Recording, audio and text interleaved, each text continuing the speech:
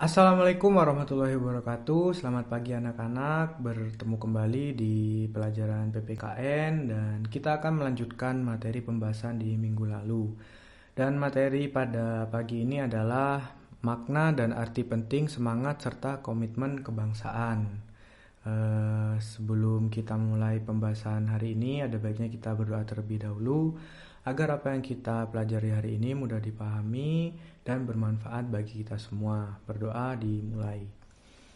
A'udzubillahiminasyaitonirrajim. Bismillahirrahmanirrahim. Alhamdulillahirabbil alamin arrahmanirrahim maliki yaumiddin. Iyyaka na'budu wa iyyaka nasta'in ihdinas siratal mustaqim. Siratal ladzina an'amta 'alaihim ghairil maghdubi 'alaihim waladdallin. Amin. Oke, kita langsung masuk aja ke pembahasannya. Jadi di sini kita masuk di bab 3, makna dan arti penting semangat serta komitmen kebangsaan. Makna semangat dan komitmen kebangsaan. Semangat kebangsaan sangat diperlukan untuk mempertahankan keberadaan suatu negara. Semangat ini berasal dari warga negara yang tinggal di negara tersebut. Semangat kebangsaan terwujud dalam sikap nasionalisme, dan patriotisme demi mewujudkan keutuhan nasional.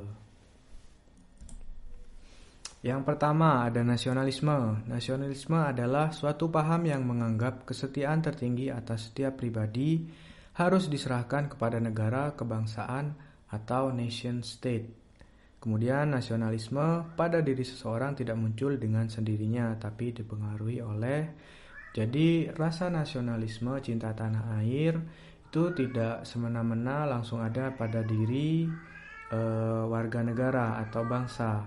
Nah, dipengaruhi oleh apa, Pak? Nah, yang pertama dipengaruhi oleh perasaan nasional, kemudian bahasa nasional, watak nasional, dan yang terakhir ada agama.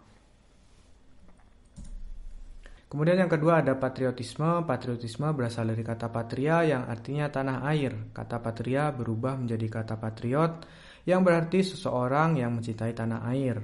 Sikap patriotisme dapat diwujudkan dengan yang pertama ada rela berkorban mempertahankan negara, kemudian yang kedua bersikap untuk mengisi kelangsungan hidup negara.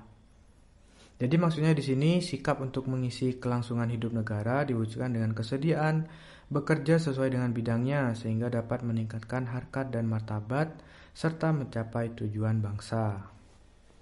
Kita next.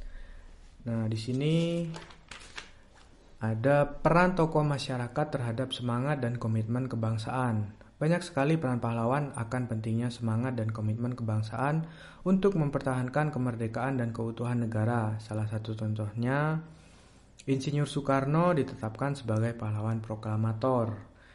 Akan tetapi, saat ini untuk menjaga nilai patriotisme dan nasionalisme tidak dilakukan dengan cara mengikuti perang secara fisik Nah, jadi kalau zaman dulu itu nah, nilai patriotisme dan nasionalisme itu bisa ditempuh dengan melawan penjajah. Jadi eh, bangsa Indonesia itu para pahlawan-pahlawan kita yang dulu itu berperang mengusir melawan penjajah. Ada Belanda dan juga ada Jepang. Nah, tapi untuk di zaman sekarang ini kan kita sudah merdeka dan berdaulat, nggak ada lagi penjajah.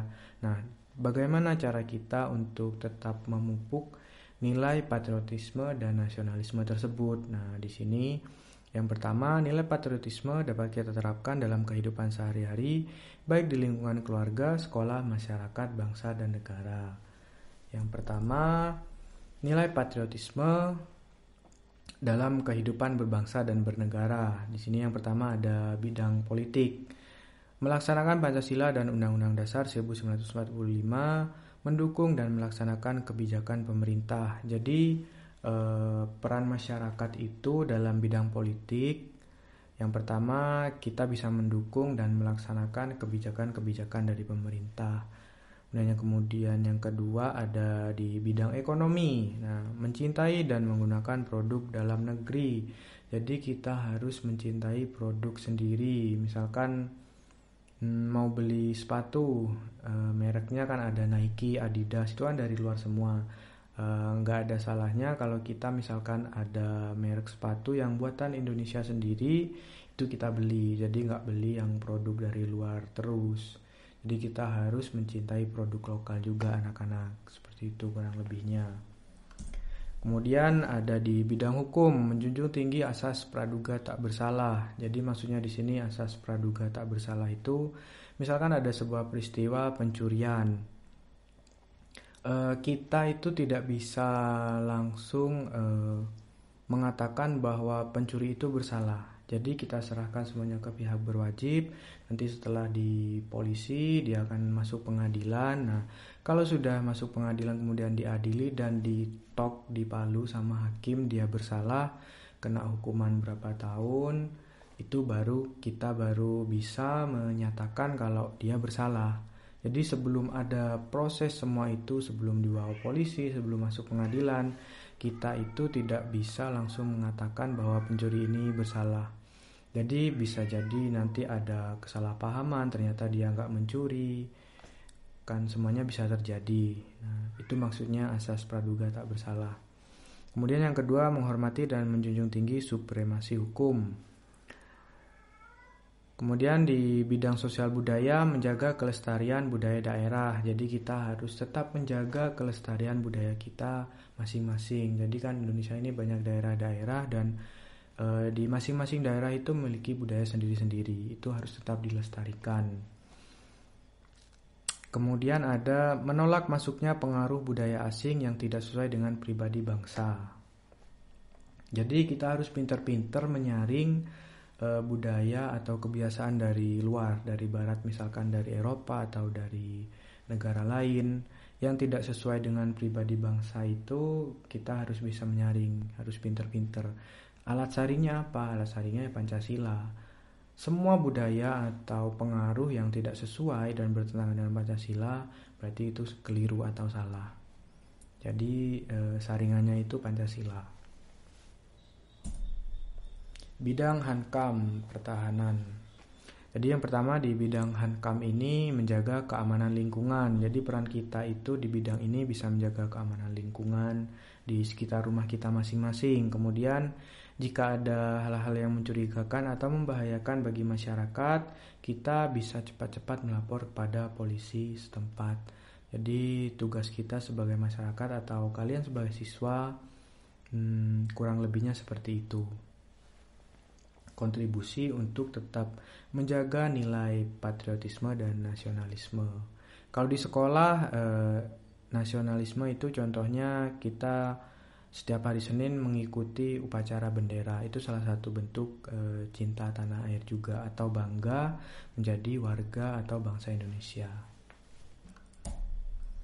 Kemudian setelah pembahasan yang barusan Bapak akan memberikan tugas untuk mengetahui pemahaman kalian tentang materi di pertemuan kali ini. E, tugasnya bisa dikumpulkan lewat WA atau email paling lambat hari Sabtu. Yang pertama, jelaskan apa yang dimaksud dengan nasionalisme dan patriotisme. Sudah jelas ya, tadi sudah Bapak jelaskan. Kemudian, ini ada pernyataan saat ini budaya Korea atau K-pop sangat mewabah di kalangan para pelajar. Banyak pelajar yang begitu, begitu terobsesi pada kebudayaan Korea tersebut terutama dari segi musik dan style, sehingga merupakan sehingga melupakan kebudayaan bangsa sendiri. Nah, pertanyaan yang kedua, jelaskan bagaimana cara kalian sebagai siswa dalam menyaring budaya asing yang tidak sesuai dengan jati diri bangsa. Jadi, hmm, cara kalian atau solusi dari kalian itu apa untuk menyaring budaya asing yang tidak sesuai dengan jati diri bangsa kita? Uh, seperti itu ya, mungkin kalau ada yang ditanyakan nanti kalian bisa langsung WA saya, nanti pasti saya bales. Hmm, mungkin bisa saya akhiri. Uh, jangan lupa rajin-rajin cuci tangan dan tetap jaga kesehatan. Semoga kita semua selalu diberi kesehatan dalam masa pandemi ini. Jangan lupa juga kalian belajar di rumah, jangan banyak main. Bapak akhiri, Assalamualaikum warahmatullahi wabarakatuh.